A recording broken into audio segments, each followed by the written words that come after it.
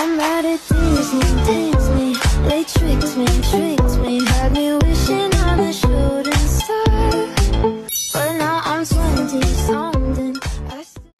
Hey guys, so welcome or welcome back to my channel. You're probably wondering why I'm in Bloxburg because I don't normally do my videos in Bloxburg. So I'm probably going to be revamping, changing my content to like Bloxburg roleplays maybe.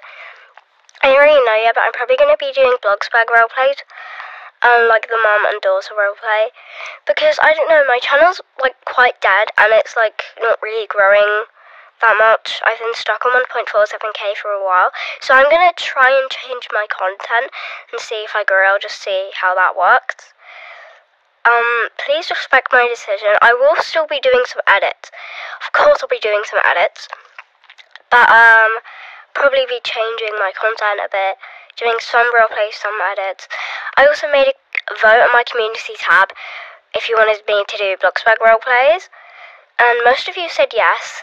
But if you don't want me to do Bloxburg roleplays, or you know, go to my community tab right now and vote because if most of you say no, then I won't be doing Bloxburg roleplays that often. But I will be doing some edits. Anyways, bye guys.